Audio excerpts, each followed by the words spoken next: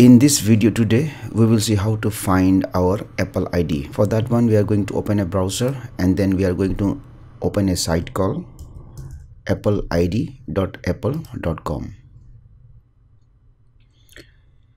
now what you do click on this link forgot apple id or password. So click on this link. Enter your first name now suppose if I enter an email address which is not my Apple ID then let us see what message I get.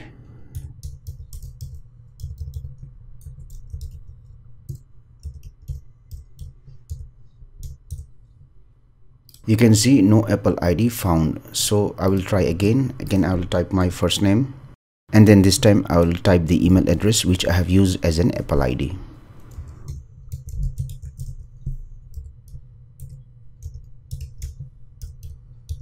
And then continue. You can see i get a message apple id found.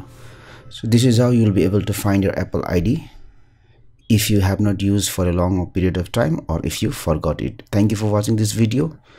Please like and share this video if you found it helpful. Also click on the subscribe button and hit on the bell icon to get the notification of our latest videos for free